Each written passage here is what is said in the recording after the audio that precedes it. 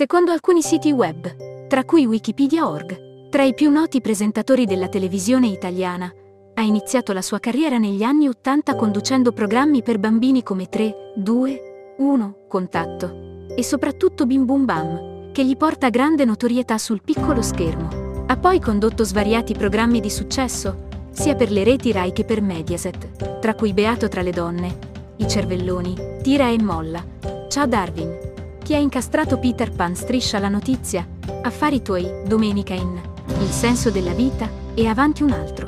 È stato inoltre presentatore e direttore artistico del Festival di Sanremo nel 2005 e nel 2009, insieme all'amico e collega Luca Laurenti, con il quale collabora dal 1991.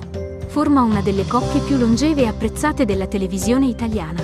I due hanno condotto insieme anche il 59 Festival di Sanremo. Si tratta di scelte che naturalmente il tempo può cambiare ma devono essere smussati questi cambiamenti in funzione delle persone che non ti hanno chiesto di venire al mondo.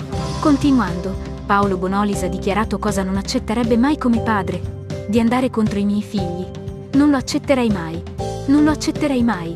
Non potrei farlo.